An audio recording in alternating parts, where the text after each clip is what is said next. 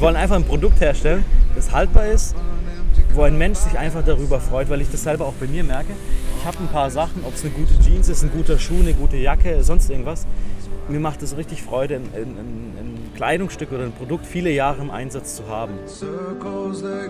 Und Compagnone sind wir drauf gekommen im Endeffekt, ähm, weil es ein Weggefährte ist, den man überall hin mitnehmen kann, der überall mit dabei ist und zu jeder Situation eigentlich passt.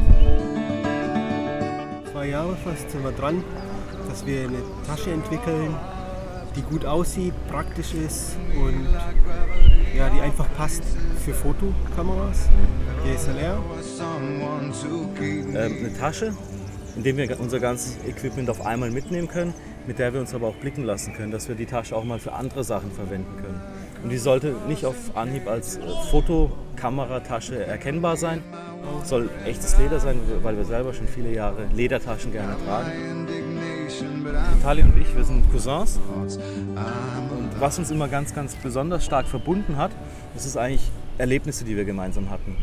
Ähm, ich kann das echt so sagen, mit Vitali habe ich definitiv die krassesten Sachen erlebt in sportlicher, ähm, aus sportlicher Sicht, aus Abenteuersicht. Wir können uns vertrauen, das passt. Wir wissen, dass es zusammen eigentlich funktioniert. Genau. Deshalb haben wir auch die ganze Geschichte zusammen angefangen. Wir machen die erste Kleinserie, die ersten Kleinserien werden wir definitiv in Deutschland machen lassen. Auch die Musterfertigung. Hier im Hintergrund sieht man leicht den ersten Prototypen. Wir haben schon den zweiten Prototypen fertig. Wir hoffen, dass wir so gegen Sommer eigentlich ähm, die ersten Taschen draußen haben und dass es dann so richtig lo losgeht. Und dann folgen natürlich die nächsten Modelle. Da arbeiten wir auch schon dran, haben schon unsere Ideen.